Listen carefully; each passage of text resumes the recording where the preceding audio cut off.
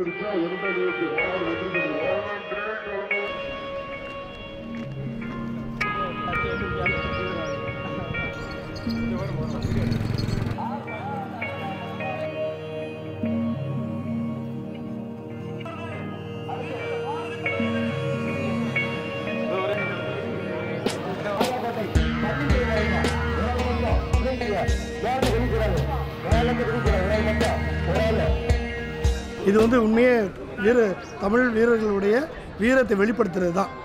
அந்த காலத்தில் வந்து மேரேஜ் கூட அந்த வீரத்தினால அது வந்து உண்மையிலே ஒரு ஆபத்தான விளையாட்டு தான். ஆனால் மக்கள் அதை விரும்பி தான் செய்கிறாங்க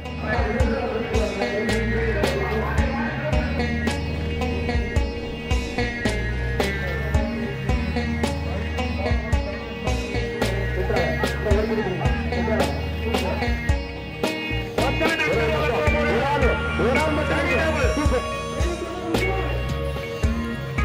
2014, the Supreme Court banned Jallikattu on the grounds of cruelty to animals.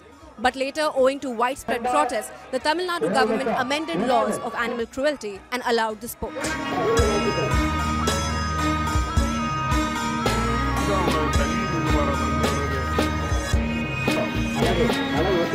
Super, super.